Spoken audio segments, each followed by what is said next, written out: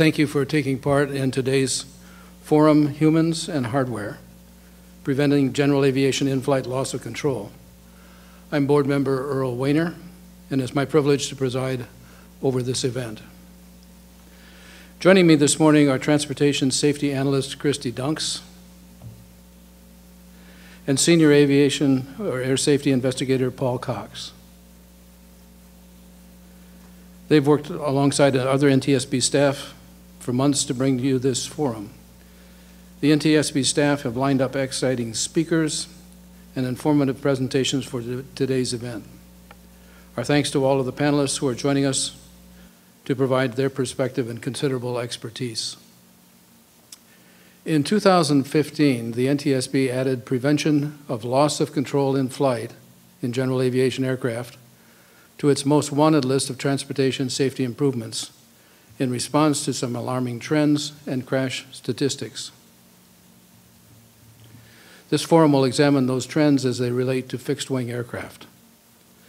Since 2008, in the United States, almost 3,000 people have died in general aviation fixed-wing crashes, and almost half of those deaths involve loss of control. Although the airline industry has improved their accident rate in the U.S. by almost 80% over the last decade, the general aviation industry has not seen the same level of improvements.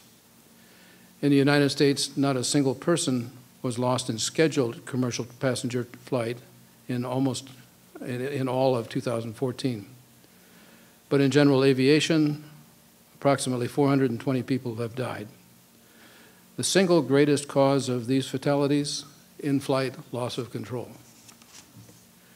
At the NTSB, we've taken up the challenge of examining loss of control crashes to determine how and why they happen, and we've studied the nature of the loss of control crash when a pilot flies the airplane beyond its critical stall angle of attack, at which point control can be lost. We'll start the forum this morning with a presentation from NTSB's Paul Cox. Mr. Cox will explore the varying factors that can precede a loss of control event in flight. But as Mr. Cox will explain, these factors do not predetermine the crash. Loss of control is, at its core, a human performance issue. Although problems may arise, these aircraft remain flyable. It's the pilot's lack of familiarity with the aircraft, medical or substance impairment, distraction, insufficient training, or failure to act swiftly that, in the end, causes the crash. So today, among other topics, we'll look at the most sophisticated equipment in any piloted airplane, the human brain. How it works, what might impede a pilot from maintaining situational awareness, and how such impediments might be anticipated and countered. We'll also look at the current loss of control training, as well as the importance of enhancing that training. We'll discuss initiatives promoted by the aviation community to prevent in-flight loss of control, and we'll consider what technological solutions might aid pilots in maintaining control of their airplanes. And we will ask the important question, what else can be done? In our final session today, we'll feature questions sent in by those with the best perspective on general aviation flight, the pilots themselves. Before closing, I want to add that most general aviation pilots share my passion and fascination with flying. Many of us trade information readily with other pilots and are quick to discuss the lessons we've learned from our own close calls. Even good pilots can have bad days.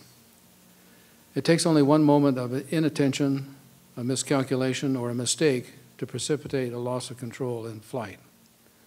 The best defense is to remain vigilant against the complacency that leads to lax attitudes and dangerous habits. As you listen to the speakers today, I ask that you consider your role in aviation safety, that you resolve to be part of the solution, and that you commit to spreading the word to other pilots. The prevention of loss of control crashes should be a focus of every aviation type club, pilots association, and aircraft related forum.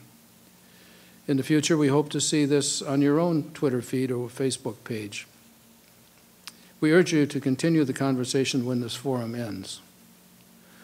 I know that, like me, your greatest incentive is assuring the safety of the people who fly with us and share our airspace.